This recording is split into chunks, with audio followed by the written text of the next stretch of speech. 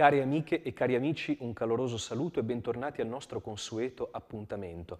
Con buon successo prosegue al Cinema Don Bosco della Spezia la visione di Io sono qui, delicatissima eppure qua e là mordace commedia di Eric Lartigot un regista che non finisce mai di sorprenderci per i continui, improvvisi cambi di registro, di tono e di genere. Infatti, da una pellicola di evidente ispirazione antonioniana, quale fu Scatti rubati, fino al più recente e fortunato nella sua commistione di sorriso e commozione, la famiglia Bellier, una volta di più ritornano gli elementi cari al regista, non di meno, come prima accennai, la sua capacità di improvvisare e di sorprendere le aspettative dello spettatore. Nulla da aggiungere rispetto alla trama del film che già esplorammo, se ben ricordate, nella puntata precedente. Stefan, uomo di mezz'età, tutto quello che si può desiderare dalla vita, una moglie, due figli, un'attività ben avviata, eppure non è ancora soddisfatto. La Corea anzi la Corea del Sud ha un profumo eh, inebriante, seducente, in questo caso ha le fattezze di Su, una ragazza conosciuta da Stefan casualmente su una piattaforma social. Resterà attaccato alla sua quotidianità, alle sue eh, piccole gioie nel Belgio rurale, oppure l'Oriente avrà un profumo, un richiamo troppo forte, irresistibile. Questo lo scoprirete solo nel corso della visione. In aggiunta a quanto già eh, esplorammo, può essere d'aiuto e eh, di piacere allo spettatore conoscere quelle che sono le ragioni che portarono il regista ad abbracciare questa storia.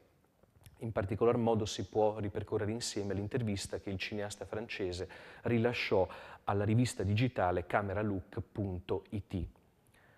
Nelle sue prime sequenze Io sono qui sembra promettere una commedia romantica. Successivamente il film assume gradualmente l'aspetto di una storia introspettiva dalla risonanza molto contemporanea. Come è nata questa idea? Il regista risponde. L'impulso iniziale è stato innescato dal produttore Edward Veil che mi ha riportato un fatto di cronaca. Un uomo svedese decide di incontrare una donna cinese che ha conosciuto su internet e parte per la Cina col desiderio di sposarla ma la ragazza non si presenta all'aeroporto e non darà cenni di risposta. L'uomo indice uno sciopero della fame. Dopo una settimana viene rimpatriato e ricoverato all'ospedale. All'epoca dei fatti avevamo appena iniziato a discutere insieme ad Alain Chabat, l'attore protagonista, il personaggio di Stéphane.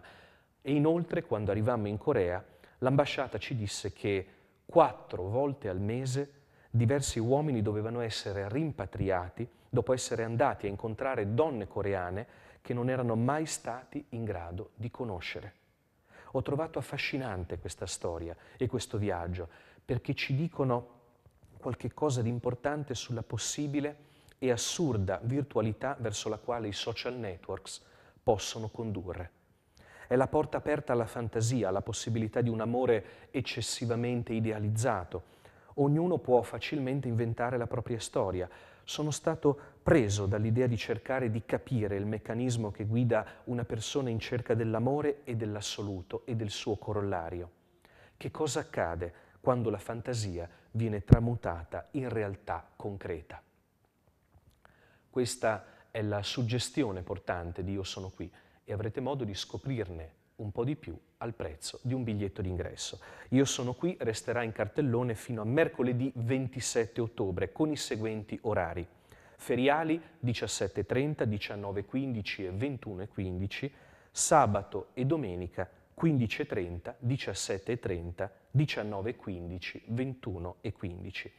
Il giorno dopo, ossia giovedì 28 ottobre, debutterà invece in palinsesto l'attesissimo Freaks Out di Gabriele Mainetti, sorta di variante eh, teratologica dell'armata Brancaleone, anzi dei Picari di Mario Monicelli, con eh, una compagnia di teatranti girovaghi, tutti fenomeni viventi, i quali dovranno districarsi fra mille peripezie e avventure nell'Italia del biennio 43-45.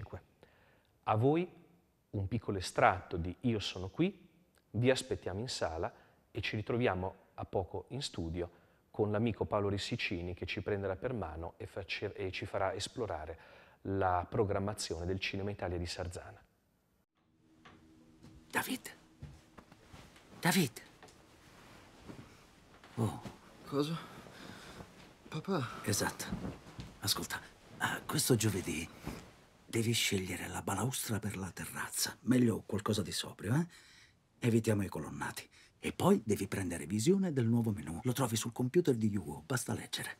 Questo è quanto. Ce la puoi fare? Mm. Mi ascolti o pensi ad altro?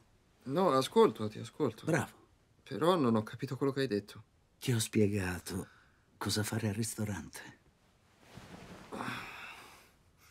Scusa, perché? Dove vai? In Corea a vedere i ciliegi.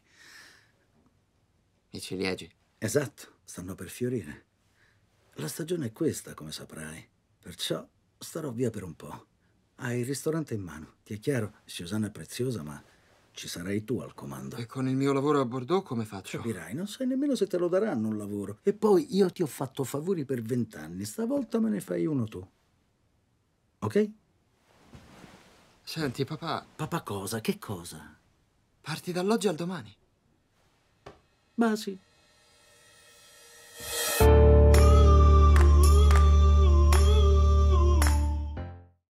Il reparto antidroga della polizia di Parigi indaga con zelo sulle partite di hashish che arrivano nella capitale e per farlo si affida alla traduttrice Patience, abile a intercettare le comunicazioni in arabo dei trafficanti. Cresciuta in giro per il mondo grazie alla madre, che ora è malata in una casa di cura, Patience soffre la noia. Quando un giorno riconosce la voce una, eh, della badante della madre, si adopera in maniera istintiva e casuale per aiutare il, il figlio di lei.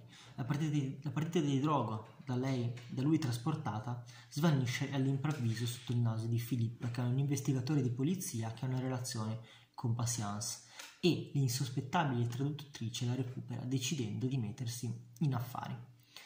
Da questa idea che sembra essere uscita da un um, Breaking Bad parigino in un'ambientazione appunto urbana, metropolitana che sembra quasi chiamare per temi la New York degli anni 70 a livello di, eh, di cinematografia della nuova Hollywood, eh, ecco però il tono è completamente diverso, molto più scanzonato, molto più leggero, molto più comico ed è appunto la struttura della storia dei personaggi che sono delle macchiette, semplicemente delle macchiette comiche fanno intravedere che in realtà il film forse è stato pensato in maniera ancora più leggera e comica di quanto non sia grazie a una bravissima Isabelle Huppert. Eh, Jean-Paul Salomé prende la, la Huppert e in realtà rende il suo personaggio l'unico veramente a tutto tondo, l'unico personaggio tridimensionale, mentre gli altri sono appunto delle macchiette parodistiche, comiche. La Huppert regala alla regina di Parigi, così recita il sottotitolo del film, eh, un personaggio che solo attraverso un'alzata del sopracciglio eh, restituisce il mistero della sua figura o attraverso un sorriso ambiguo restituisce eh, la sua ineffabilità.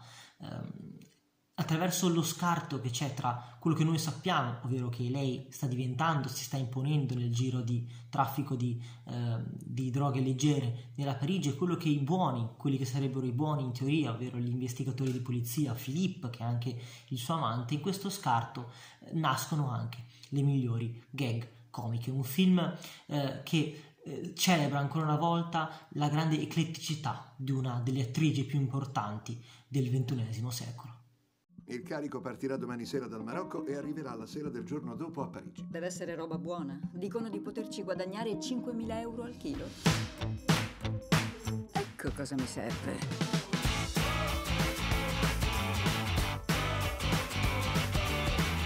Se prendete più di 50 kg, vi faccio uno sconto. C'è una donna che spaccia tonnellate di roba a Parigi e non riusciamo a beccarla. Attenzione, è pesante. Effettivamente. Oh. Non dimenticate al telefono sempre e solo in arabo. Dabruskom. Rida, Safi, Rida. Domani alle 19 nello stesso posto. Ma dov'è questo stesso posto?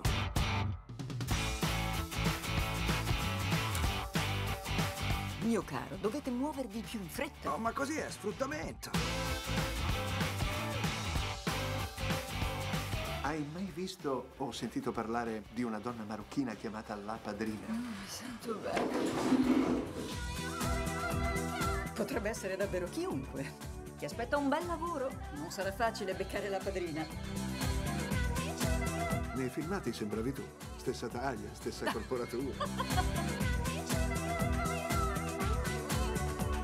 Non so se è per solidarietà femminile, ma io la trovo piuttosto simpatica, questa padrina.